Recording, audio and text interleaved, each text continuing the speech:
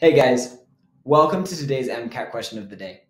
As always, we'll be working through one of the many MCAT practice questions found at MCATselfprep.com, the home of the free MCAT prep course. I'm Dalton Bourne, a 100th percentile MCAT tutor, and today I'll be working through this problem with you as though you were one of my private tutoring students. This problem can be found at the end of Lesson Mastery Quiz in Lesson 1 of the Biology 2 module. Be sure to hit pause and work through this problem on your own before watching my explanation.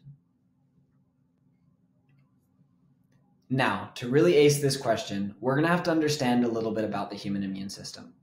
One of the key players in the immune system is B cells, these nice little B cells I've drawn here. And something that's cool about B cells is that B cells have proteins on the surface of the cell called antibodies. Here's a blown up version of an antibody here. Each of these antibodies has something called an antigen binding region, these orange and yellow bits that I've circled. Now, in the bone marrow, when a B cell replicates, it's going to create lots of daughter cells.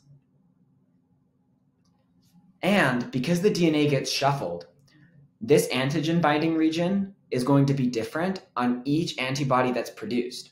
So each B cell is going to have a different antigen binding region at the end of its antibodies eventually these different B cells get transported to the lymph nodes. And in the lymph nodes, when an antigen shows up that binds well to a certain antigen binding region, that specific B cell gets triggered to replicate. When this happens in the lymph node, the DNA isn't shuffled as it is in the bone marrow. And so each of these antibodies binds to the same antigen when this replication happens. And that's what allows us to fight that antigen so well. Now let's get back to the question and see how this helps us solve it. All right, so this question tells us a little bit about the structure of antibodies, and then it jumps right into it, and it asks us what allows for variable antigen specificity. In other words, how can we have antibodies that bind to so many different antigens? How can we have so many different antibodies that match to so many different bacteria, viruses, etc.? Well, let's look at our answer options.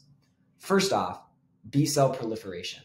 we talked a little bit about B cell proliferation and how B cells replicate, but that didn't have to do with the antigen binding specificity.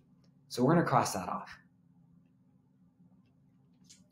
Next, we're going to jump down here and talk about isotype switching between immunoglobulins. Now, immunoglobulins is another name uh, for antibodies. And so that's a tempting answer. Think about isotype switching. And that is something that does happen as part of the immune response. But when isotype switching happens, we're changing other parts of the antibodies. We're not changing that antigen binding region that actually binds to the antigen. So this answer is going to be incorrect as well. Finally, down here, we have agglutination of antigen bound antibodies. Now, that's when antigen specific antibodies clump together in the body. And again, a part of the immune response, yes, 100% but not the part we're interested in because it doesn't have to do with how we're able to bind to so many different antigens in our body.